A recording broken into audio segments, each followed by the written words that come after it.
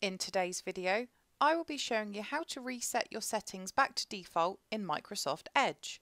So this can be really handy to do if you've been having issues with your Edge browser or if you've changed a few settings recently and you can't remember which ones you've changed, then you can reset them back to their default values. So to do this, all you need to do is open up your Edge browser. You now need to click on the three dots in the top right hand corner and click on Settings. Over on the left hand side menu you then need to select Reset Settings and you now need to click on Restore Settings to their default values. You'll then get this window pop up so again just have a little read through and once you're happy press Reset.